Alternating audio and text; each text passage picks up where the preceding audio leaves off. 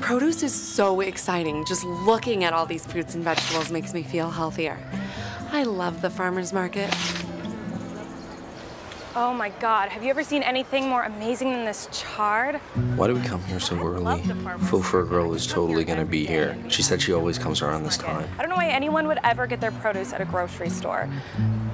Dude, why are you so stressed? Chill, seriously. I just haven't had my coffee yet. You people and your coffee addictions. There's coffee over there.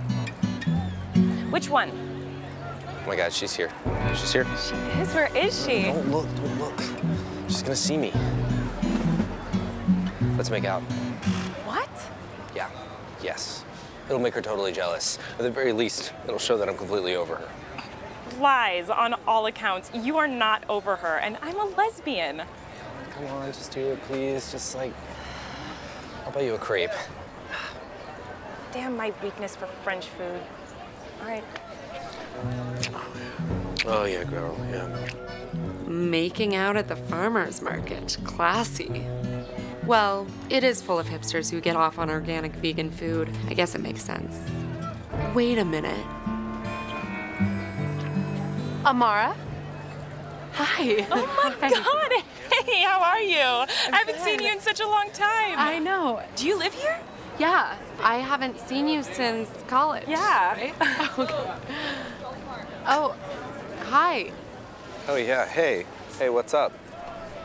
You two know each other. Yeah, we went to art school together. I didn't know she was was here. What? And so, how are things? Yeah, they're great. Just awesome. Rock on. How are your things? Super good. Really fun. You know, stuff. We should all totally go get crepes and catch up. Uh, you Yeah, know, I have gotta things go. to do. I have got a work and stuff. stuff.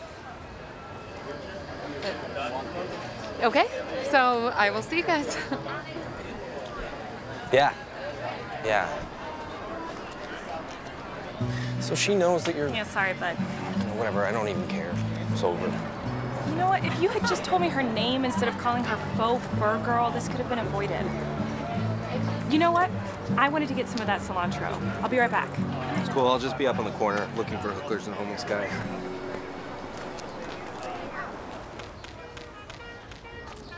Wait up!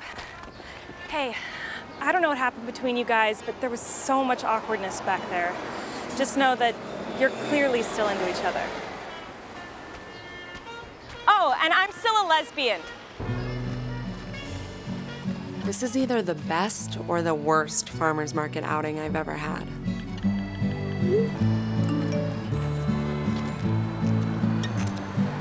Oh my god.